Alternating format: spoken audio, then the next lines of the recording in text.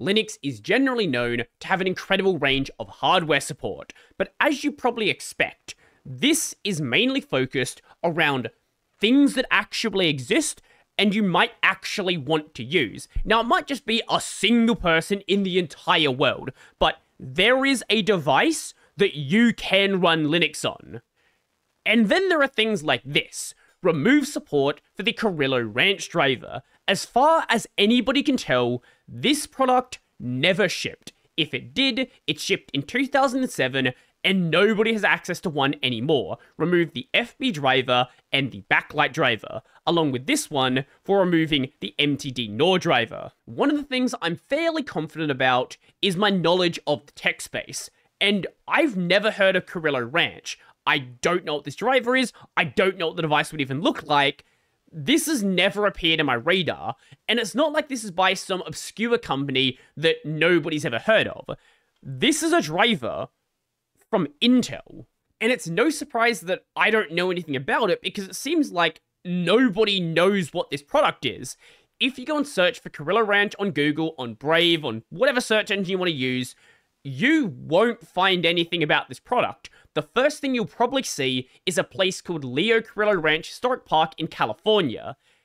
And the rest of it is going to be the articles about Linux removing support for Carillo Ranch there's nothing on this device. Even like super obscure devices, there'll be a forum post somewhere, there'll be a data sheet, there'll be something about this, but there's not. It just doesn't exist. Now, that's at least what I could find, but Phoronix did find a little bit more. This seems to be a platform, a motherboard for a product that did actually exist a CPU called the EP80579. This was released in Q3 2008 and has a whopping one core, one thread, no hyperthreading. You get one. That is all. You also get a base frequency of 1.2 gigahertz. You know, it's more than one.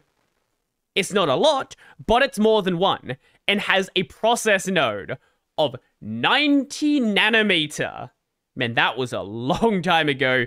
Also, this isn't a desktop CPU, anything like that. This is an embedded CPU. And I'm sure for the appropriate embedded workloads back in 2008, this is a perfectly reasonable CPU.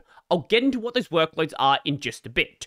But where do these drivers actually come from? Because drivers don't just magically pop into existence, and it's kind of hard to write drivers for a product that doesn't exist. What often happens prior to a device's release, especially with a company like Intel that is very friendly towards open source, they will make the drivers, make sure they're available, and then when the device ships, it just works without any problem whatsoever. They do the same on Windows, so they might as well do the same on Linux if they actually care about the platform.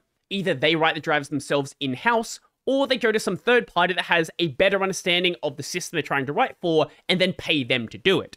In this case, the latter is what happened. So the first driver, this was written by a group, if we scroll down to this bit here, Tungsten Graphics. Now the second driver, this was written by a different organization. That one being MontaVista Software. Now, for those of you that have been involved in the Linux space for a really long time, since roughly the early 2000s, you may recognize the name Tungsten Graphics. And there's a good reason for that, because in the early 2000s, they were the company that was primarily driving the development of Mesa.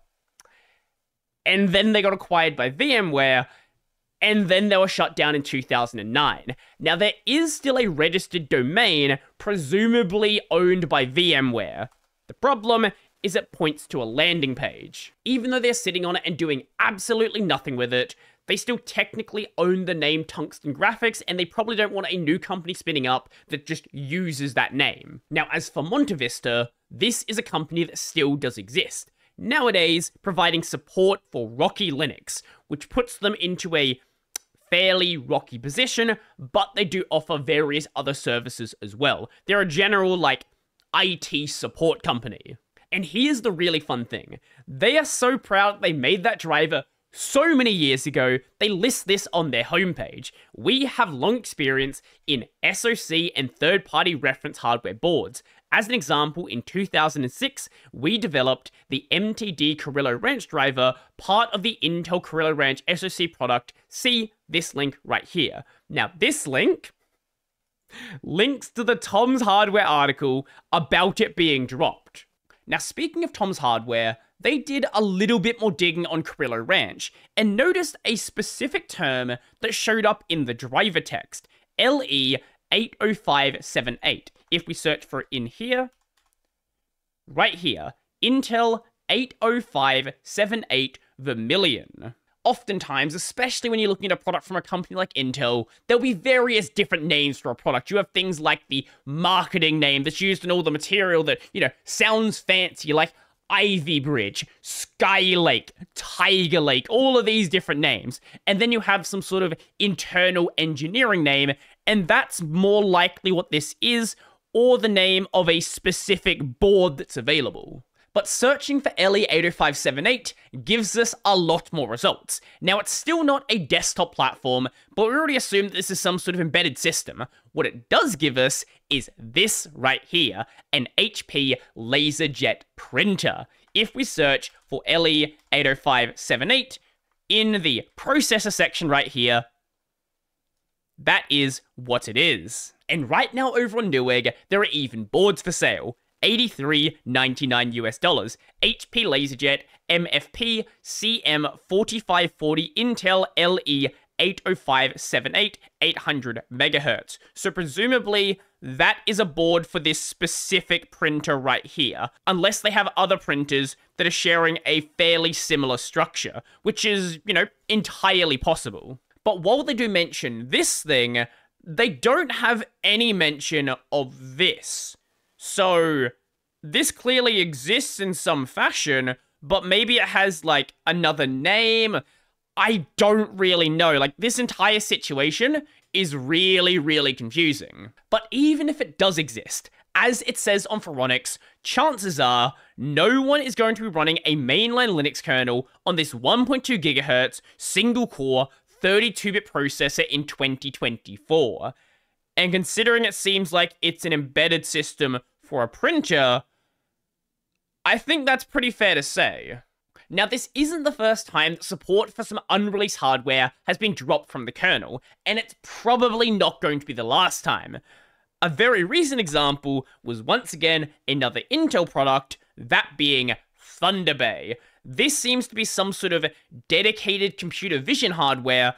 I don't really know what value it would have had, but they bought a company called Movidius and then just did nothing with it and just cancelled the entire project. They had drivers in the kernel, and then the drivers just got removed. I have no doubt it's going to happen again, and it's probably going to happen again from Intel. Intel has a lot of money to let engineers do a lot of things, and sometimes those ideas are good ideas, and then sometimes those ideas are good ideas, but Intel doesn't see a way to make money from them, so they go away. But let me know down below.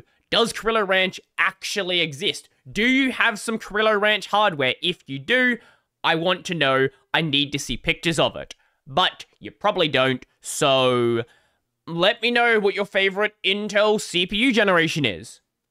Yeah, that works. So if you like the video, go like the video. And if you really like the video and you want to become one of these amazing people over here, check out Patreon, Scribes, LiberaPay, linked in the description down below. That's going to be it for me, and... I'm not going to address what's written on the board.